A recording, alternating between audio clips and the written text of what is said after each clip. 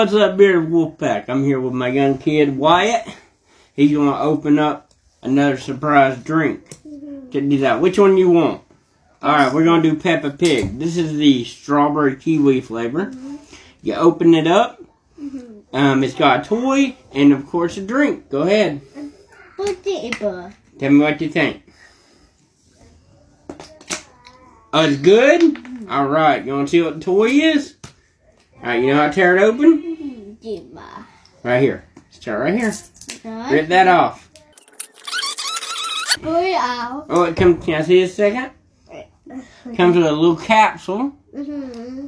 All right, pop it open. Oh. Need some help? Oh. Nobody. Let money have. I got you, big man. Oh, what we got? Baby. We gotta show them. They can't see. It's Daddy Pig, yeah, that's how diaper. and these things are collectible. Oh, it shows you all of them. That's right. So you get a drink, get a toy for the kid. They're happy, and it shows you all the other collectibles. That's right, Wyatt. So, what do you think of these uh, play and drink surprise drinks? That probably have another one.